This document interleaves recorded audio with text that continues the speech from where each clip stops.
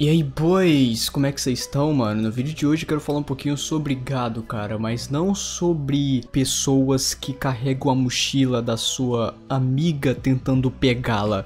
Hoje eu quero uh, contar um pouquinho que, mano, basicamente tudo é gado hoje em dia. Eu quero muito saber como é que tá isso nas escolas, mano, porque eu já não estudo mais tem um tempo, né, já terminei, mas eu imagino que isso tenha virado uma febre nas escolas, tipo, você gosta de uma mina, como é, quer, quer puxar um assunto com uma garota da sua sala, aí seu amigo vira para você e fala, hum, gado demais, cara. Aí você fala, excuse me, what the fuck, mano? Eu só quero conversar com a menina, posso?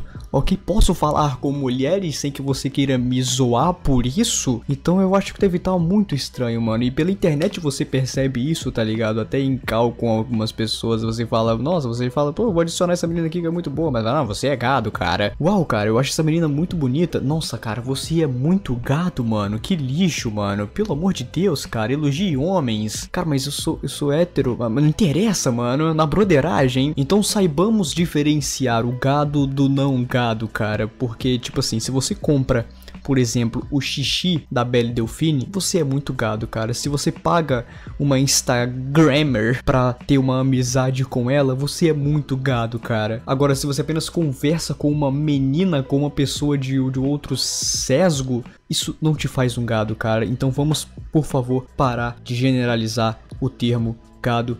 Quero, quero comentar aqui minha indignação, cara. Uh, hashtag não somos gados tá? Porque se você apenas quer conversar com uma pessoa, com uma mulher, quer chamar ela ali pra, conversar e tudo mais, você não, isso não faz de você um gado, cara. Então, por favor, eu quero pôr um fim na generalização do termo gado que já está passando dos limites, ok? Deixe seu amigo tentar ali conversar com a menina que ele gosta, cara, da sala dele, ok? Pare de ficar enchendo o saco dele, cara. Eu sei que você também gosta de uma menina da escola, só que você tem medo de levar um fora dela e tem medo de que seu amigo te zoe de gado porque você zoa ele de gado, entendeu, cara? Então vamos parar esse ciclo vicioso por aqui enquanto ainda dá tempo, porque senão daqui a pouco ninguém mais vai poder falar com mulher com medo de ser chamado de gado, ok? Então eu estou aqui pondo um fim nessa, nessa generalização. Vamos parar por aqui enquanto ainda dá tempo, mano. Ainda há tempo, guys. Ainda há tempo. Eu juro pra vocês, mano. Ainda há muito tempo. Então eu vou causar aqui esse divisor de águas, ok? Se você ver o seu amigo pagando lanche pra garota da escola, carregando a mochila dela e da amiga dela, ok, você pode zoar muito esse cara, porque ele é muito gado. Puta merda, ele é uma vergonha pra família, a vergonha da profissão.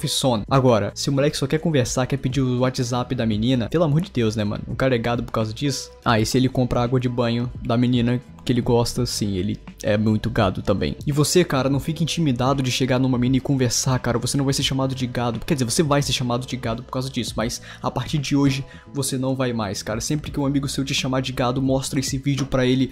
Você que chama todo mundo de gado por qualquer coisa, cara. Para de ser babaca, cara. Vai viver sua vida, mano. Vai conquiste, vai atrás das meninas que você gosta, cara. Para com isso, ok? E mulheres, se você percebe que tem algum garoto ali que ele não fala com você, é basicamente porque os amigos dele o pressionam tá? É basicamente pressão psicológica porque ele não quer ser chamado de gado, tá bom? Então às vezes ele até pode gostar de você, mas ele não chega em você para não ser zoado de Ui, gado demais, cara! Você é muito gado, cara! Então é basicamente por causa disso e não que ele não goste de você ou te odeie, tá? É só isso mesmo. Então eu resolvi fazer esse vídeo aqui totalmente necessário, cara, porque isso tá passando dos limites, cara. Isso tá passando dos limites, tá? Então esse aqui é um vídeo totalmente necessário que eu precisava muito fazer e desabafar com vocês ok?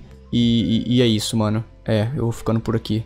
Deixa o like no vídeo, compartilha muito, se inscreve no canal se chegou aqui de paraquedas. E até a próxima. Tchau, tchau, tchau, tchau.